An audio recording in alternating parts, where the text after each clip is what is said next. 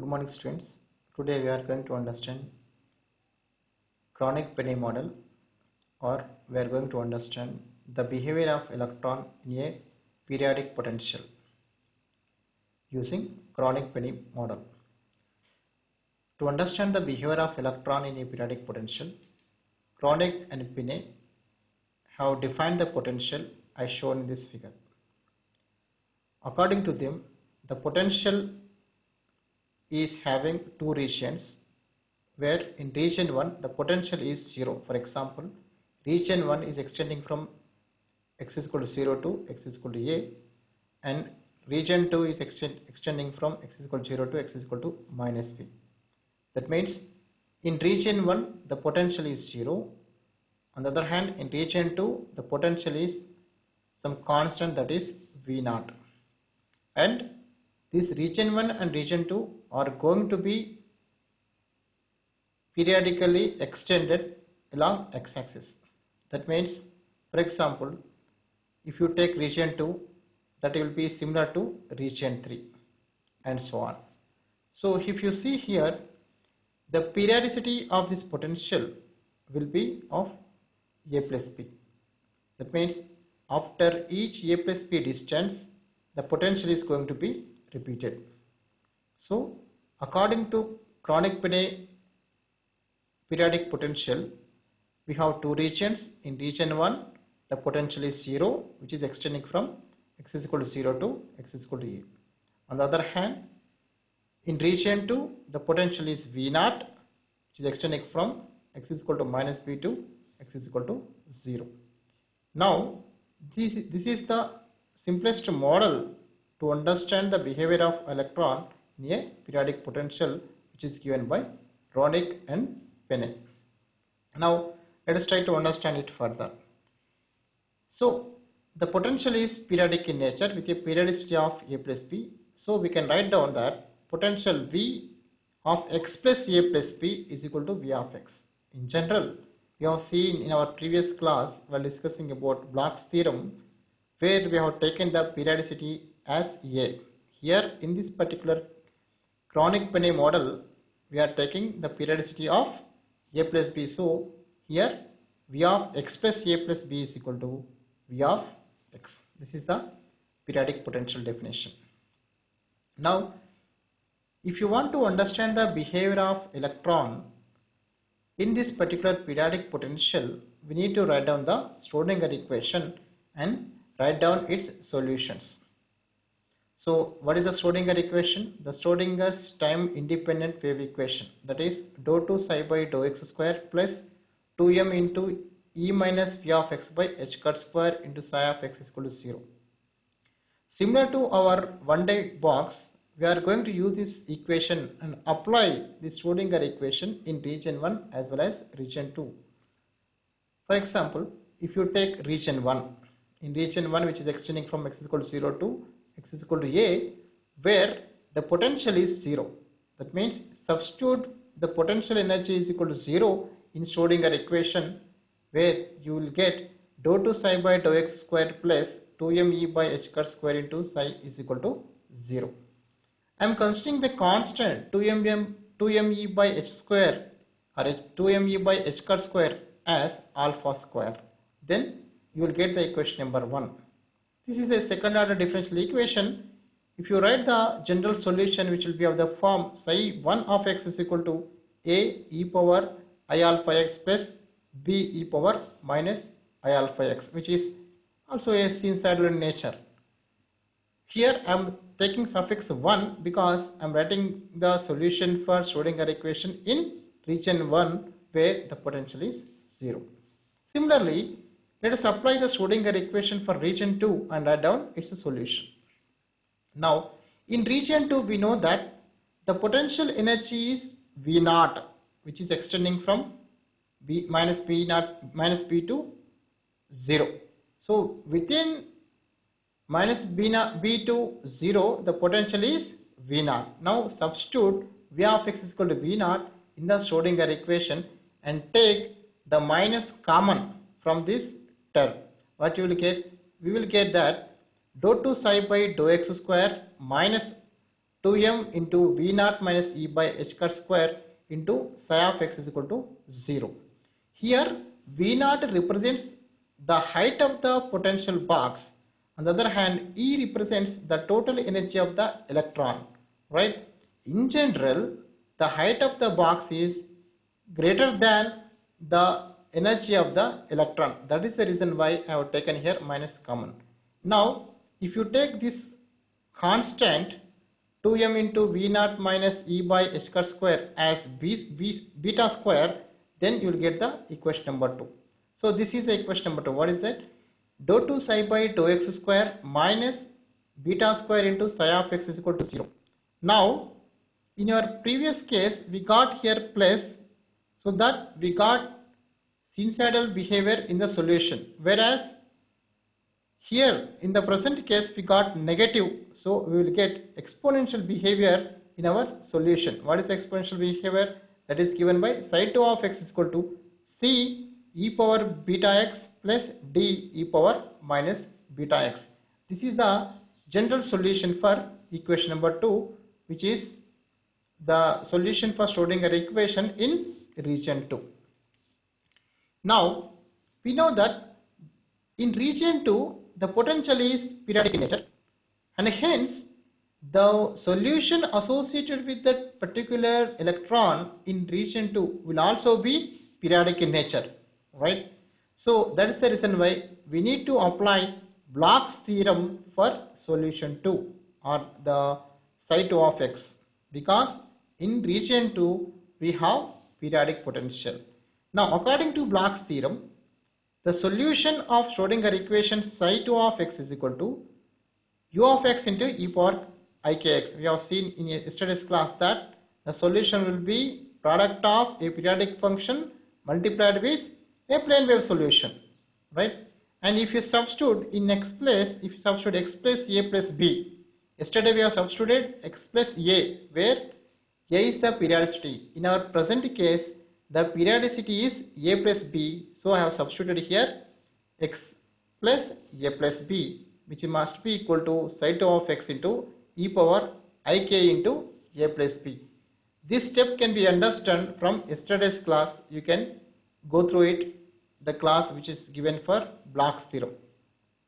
So again I am substituting the value of psi 2 of x in this case. So you will get the modified solution for psi in region 2 that is psi 2 of x plus a plus b is equal to c into e power beta x plus d into e power minus beta x e power ik into a plus b.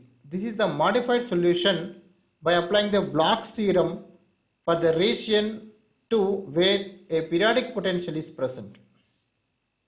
Now, we know that A, B, C, D are the constants which can be obtained by applying the boundary conditions. Here, generally the boundary conditions that we apply are psi that is the wave function and its first derivative that is dou psi by dou x are continuous at the boundaries.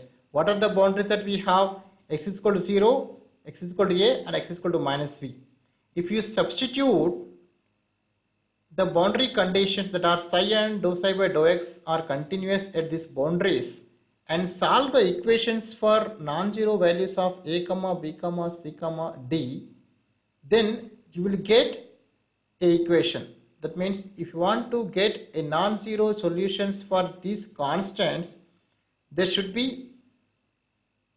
this particular equation should be satisfied. If you want to get this equation by solving those equations, by solving the boundary condition equations, it will be little bit larger and more mathematics is involved. So our aim is here to understand the qualitative treatment of Kronig-Penney model. So I am not giving here the mathematics behind this particular equation. If you are interested, you can actually apply the boundary conditions and solve so that you will get a determinant. So if you equate the determinant to for 0 then you will get this particular equation. That is the equation is nothing but P of sin alpha a by alpha a plus cos alpha a is equal to cos ka. This is the a general equation that we get by solving the boundary conditions and this equation will give you more conclusions from your KP model. This is the fundamental equation which is used to give the conclusions for the Kronig-Penney model. Here P represents the scattering power, the ability of electron that can be scattered within this potential well that is given by m a v naught b by h cut square and the remaining constants already we know that. Now let us try to draw some of the conclusions or in other words let us try to understand the importance of Kronig-Penney model from this particular equation. That means we are going to draw the conclusions from these equations or the conclusions from Kronig-Penney model. Now let us try to analyze step by step this equation. Now if you see we have LHS P sin alpha A by alpha A plus cos alpha A by plus cos alpha A. We have LHS P sin alpha A by alpha A plus cos alpha A. On the other hand RHS we have cos Ka.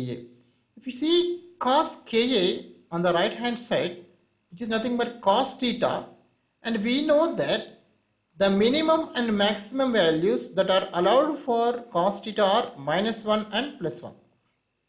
That means I am going to restrict my cos theta values between minus 1 and plus 1. This is the basic definition of cos theta, cos theta values. Now, what is cos Ka from this equation? P sin alpha A by alpha A plus cos alpha A. That means LHS also is lying between minus 1 and plus 1. That means here if you see the variable that is alpha, okay, no? alpha is taking only certain values for which the LHS term that is P sin alpha A by alpha A plus cos alpha A should lie between minus 1 and plus 1. That is the condition. That means we cannot take all values of alpha. Alpha takes only some restricted values for which the LHS is lying between minus 1 and plus 1. And we know that alpha is taking only restricted values, only certain values, fine. Now, we also know that alpha is a function of energy. We know that alpha square is equal to 2me by h square or alpha is equal to square root of 2me by h square. And from this expression, we understood that alpha will take only certain values and hence its function that is energy also takes only certain values. It will not take continuous values. It will not take all values. That means energy values are not continuous. There are some forbidden energy values which are known as energy band gaps. We are calling it as energy gaps or energy band gaps. So, the first conclusion that can be drawn from the Kronig-Penney model is the existence of energy band gaps or the existence of forbidden energy values in your energy spectrum of a given material. So, this is the proof, mathematical proof for the existence of forbidden energy values in your solids. This is the first conclusion. Now, let us go for uh, the schematic of this first conclusion. Now, if you see this red color curve, which is actually the representation of or the graphical representation of your function that is p sin alpha a by alpha a plus cos alpha a as a function of alpha a. Now we know that this function is having some restricted values between minus 1 to plus 1. That means if you draw a horizontal line at plus 1 as well as at minus 1. Now you can see the values of the function or the curve which are lying between minus 1 and plus 1 are only allowed. The rest of the values are not allowed. For example, if you see this curve which is beyond plus 1 is not allowed. Similarly, this curve which is below minus 1 which is also not allowed. Like this, we have to take the values on this curve which are present which are presenting between minus 1 and plus 1. Like that we have drawn. If you see this curve, the shaded region represents the allowed values of alpha A. In other words, allowed values of energies. And if you try to see this uh, graphical representation carefully, the width of these allowed values is also increasing as increasing the alpha A. That's what we will see as increasing the value of energy, the width of the band will increase. So these are the conclusions. What is the conclusion? First conclusion is there exist energy band gaps and the width of energy band increases with increasing the energy values. This is the first conclusion. Now coming to the second conclusion. If you want to analyze this equation, I am just taking the value of P which is a function of the potential that is V naught. Let us try to put this value as infinity. That means what?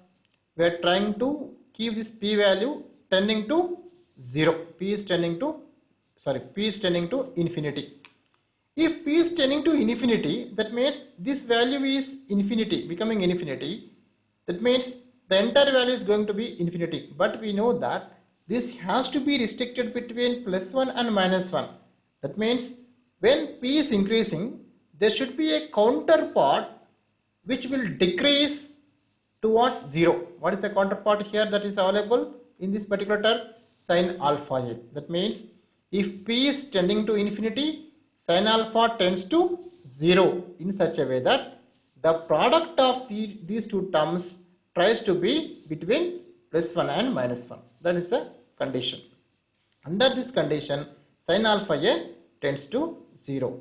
If sin alpha tends to 0, we can write down that sin alpha is alpha A is equal to sin n pi. It is nothing but alpha A is equal to n pi and if you take square on both sides, will get the value of alpha square which is nothing but n square pi square by a square which is nothing but what? Actually we know that alpha square is equal to 2me by h cut square. If you equate these two equations, what you will get? You will get the expression for E that is n square pi square h cut square by 2ma square where n is equal to 1, 2, 3 and so on. We have seen such a type of expression, the similar expression or the same expression in while discussing about particle in 1D box, right? Where the potential is infinity, the particle has taken the quantized energy values that means here also from KP model we have derived that if the potential is becoming infinity, the energy corresponding to the electron within that potential are going to be quantized. This is the second conclusion that we have drawn from the KP model which is valid. That is the reason why here if you draw the function as a function of alpha a, function means here p sin alpha a plus cos alpha a is a function of alpha a, you can see there are only certain lines, discrete lines are allowed, discrete values are allowed for energy as p tends to infinity. Similarly, let us try to analyze the this function for p tends to 0. What will happen? If p tends to 0, if p is becoming 0, this total term becomes 0, then we will get cos alpha a is equal to cos ka. That means alpha a is equal to ka if you take square on both sides, you will get alpha square is equal to k square. And we know that alpha square is equal to 2me by h cut square. Then you will get the value of E is equal to h cut square by h cut square k square by 2m. Now if you try to see this expression, there is no n. n is missing in this equation. That means what? There is no restriction on energy values it can take any value that means energy is continuous energy is continuous under what condition under p tends to 0 in other words under potential tends to 0 the energy takes continuous values that means all values are allowed. That means the band is ex extending continuously. There are no gaps at all. So this is the third conclusion that we can draw from the Kronig-Penney model. So in Kronig-Penney model what we have done? First we have defined the potential in two regions region 1 and region 2 where in region 1 which is extending from 0 to A the potential is 0 in region 2 which is extending from minus b to 0 the potential is v naught and we have written the Schrodinger equations for region 1 and region 2 and corresponding solutions. And we know that in region 2 potential is not zero and this potential is periodic in nature. And hence we have applied the Bloch's theorem for the solution of Schrodinger equation in region 2. After taking the final solution in region 2, we have tried to apply the boundary condition that is psi and dou psi by dou x are continuous at the boundaries. By applying these boundary conditions, in order to get the non-zero values of a, b, c, d, we need to solve the boundary condition equations. If you are trying to solve these equations, we will get one condition that is p sin alpha a by alpha a plus cos alpha a is equal to cos ka. From this, we have drawn some conclusions from KP model. The first conclusion is energy values are not continuous. There exist some forbidden energy band gaps and the, the width of the band increases as the energy increases. Second conclusion is if the potential is becoming infinity, the energy of the particle becomes quantized. The third conclusion is if P tends to 0 or potential tends to 0, the energy of the particle becomes continuous. These are the basic conclusions and the basic conclusions which are drawn from KP model. This is about KP model. Thank you.